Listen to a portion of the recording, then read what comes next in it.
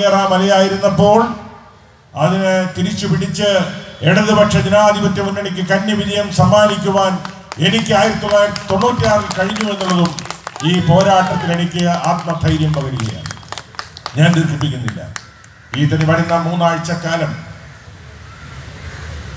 ഒറ്റക്കെട്ടായി ഒരു മനസ്സോടെ ജനങ്ങളുടെ ആവേശം നെഞ്ചിലേറ്റിക്കൊണ്ട് വോട്ടാക്കി മാറ്റിക്കൊണ്ട് ഇടതുപക്ഷ ജനാധിപത്യ മുന്നണിക്ക് അനുകൂലമായി കേരളത്തിലെ ജനങ്ങളുടെ വിധിയെഴുത്തുണ്ടാകുമ്പോൾ തിരുവനന്തപുരം അസംബ്ലി മണ്ഡലത്തിലും ഇടതുപക്ഷ ജനാധിപത്യ മുന്നണിക്ക് അനുകൂലമായി വിധി എഴുതുവാൻ തയ്യാറായി നിൽക്കുന്ന ജനതയെ ചേർത്ത് പിടിച്ചുകൊണ്ട് ഒറ്റക്കെട്ടായി അവരെ പോളിംഗ് ബൂത്തിൽ എത്തിക്കുവാൻ ഇടതുപക്ഷ മുന്നണിക്ക് അനുകൂലമായി വോട്ട് രേഖപ്പെടുത്തുവാൻ സമ്മതിദായകരെ ഒറ്റക്കെട്ടായി അണിനിരത്തുവാനുള്ള പ്രവർത്തനങ്ങൾക്ക് വരുന്ന മൂന്നാഴ്ചക്കാലം നമുക്ക് ഒരുമിച്ച് ഒറ്റക്കെട്ടായി മുന്നോട്ട് നീങ്ങാം എന്ന് മാത്രം അഭ്യർത്ഥിച്ചുകൊണ്ട് ഈ വൻപിച്ച പോരാട്ടത്തിന് നേതൃത്വം കൊടുക്കുന്ന എന്റെ പ്രിയപ്പെട്ട സഹോദരി സഹോദരന്മാർക്ക് എല്ലാവിധ അഭിവാദ്യങ്ങളും അർപ്പിച്ചുകൊണ്ട് എന്റെ വാക്കുകൾ ഞാൻ ഉപസംഹരിക്കുന്നു. നന്ദി.